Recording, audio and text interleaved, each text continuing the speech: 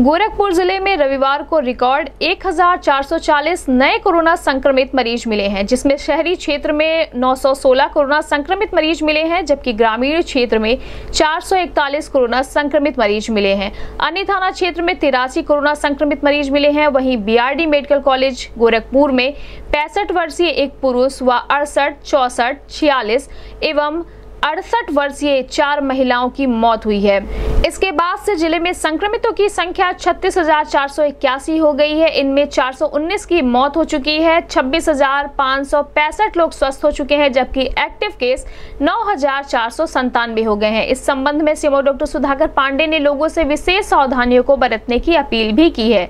दो गज की दूरी, मास्क है ज़रूरी, सामाजिक दूरी का करे पालन, अपने और अपने परिवार को बनाए स्वस्थ और सुरक्षित। सीएमओ डॉक्टर सुधाकर प्रसाद पांडे ने बताया कि इस बीमारी से बचने के लिए विशेष सतर्कता बरतनी होगी और लोगों को भीड़ भाड़ से बचते हुए मास्क का इस्तेमाल करना होगा। जब तक कि कोरोना की वैक्सीन सभी को लग नहीं जाती, तब तक मास्क ही सबसे बड़ा हथियार है।